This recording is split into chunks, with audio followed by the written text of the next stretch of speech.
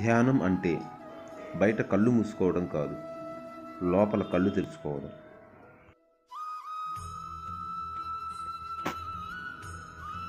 గౌరవం అనేది వయసును బట్టి కాదు సంస్కారాన్ని బట్టి ఆధారపడి ఉంటుంది. తాటి చెట్టు ఎంత ఎత్తు పెరిగినా దాని కింద ఎవ్వరూ నిలబడరు. మర్రి చెట్టు ఎంత తక్కువ ఉన్నా దాని కింద ఎందరో సేద జరుపుతారు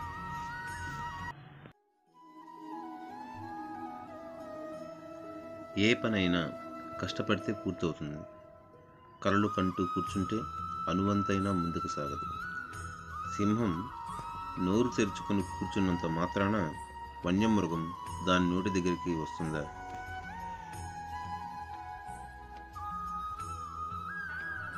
ఎప్పుడు మొదలైనా ఎలా మొదలైనా ఆ పరిచయం మనసును తాకితే అదే స్నేహం.